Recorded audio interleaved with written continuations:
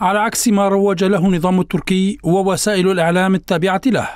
أكدت الولايات المتحدة أنها لم تتراجع عن مضمون بيان السفراء الذي دعت فيه واشنطن مع تسع دول أوروبية للإفراج الفوري عن الناشط الحقوقي عثمان كافالا.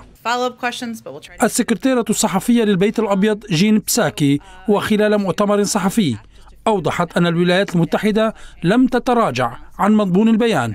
وأن كافالا ما يزال معتقلا منذ 2017 دون إدانة ما دفع المحكمة الأوروبية لحقوق الإنسان إلى إصدار قرار بإطلاق سراحه على الفور؟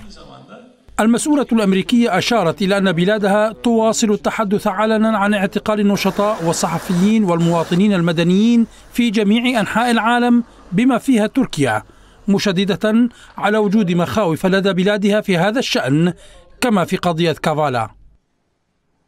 في السياق أكدت بساكي أن الرئيس الأمريكي جو بايدن لم يقرر حتى الآن ما إذا كان سيعقد اجتماعا مع رئيس النظام التركي رجب أردوغان على هامش قمة مجموعة العشرين التي ستعقد الأسبوع الجاري موضحة أن واشنطن لا تزال تعمل على ترتيبات الاجتماع المحتمل.